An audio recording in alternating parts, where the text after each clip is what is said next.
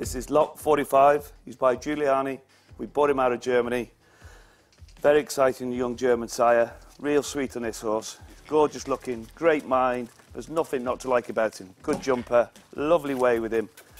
And uh, we hope he's got a bright future in front of him.